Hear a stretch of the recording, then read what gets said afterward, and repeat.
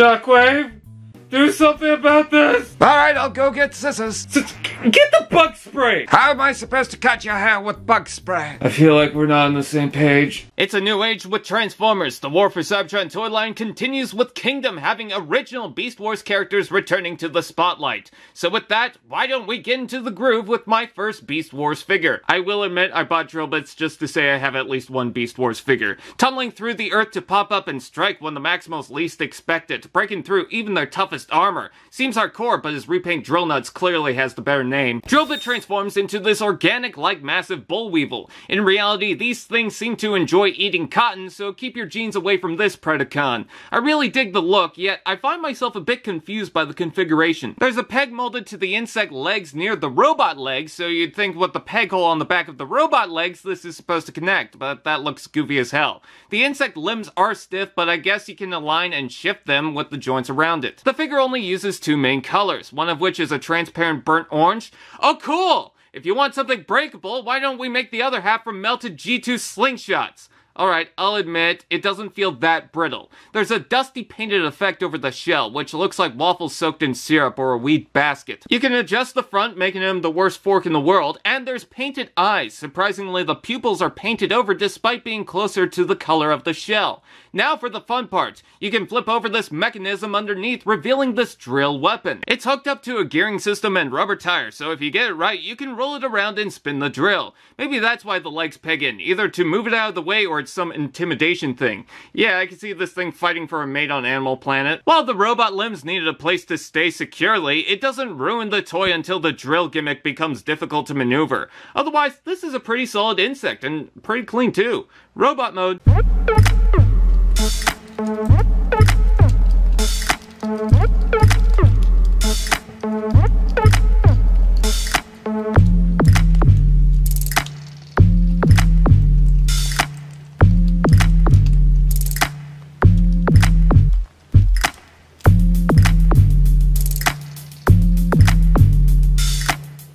Is certainly a Predacon, with colors I can only describe as a glowing Transmetal Megatron. He's a solid entry at an age where Transformers discovered ball joints, although the color pattern does make him look like he's got purple overalls and an orange bib. Apparently, he was a famous peg warmer at his day. I mean, the figure is pretty basic for a basic class figure, and I guess the colors aren't the most pleasing. Plus, he's not a character seen in the show. So, who is Drill Bit? No.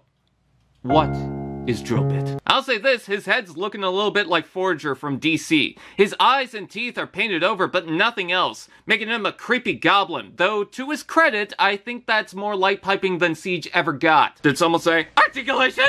Ball jointed head, ball joint shoulders, single ball joint elbow, ball joint hips, and ball joint knees. Despite all the ball joints galore, he does feel very restricted. The insect legs clash with the arms, and the feet are molded in a way so his static pose has a leg leaning forward. I guess it's more dynamic than some G1 stuff. Oh damn, did I just say G1 isn't perfect? I'm so sorry. This arm is normal, but this arm seems a bit off. Maybe it has something to do with the insect face and drill making for this very destructive clamping thing. I guess the hinge counts as an elbow, and the gearing system remains unchanged so you can continue to use it. He's a shell former! Literally he is. Please laugh! Just keep drilling, they said. Don't like the dark? Just keep drilling.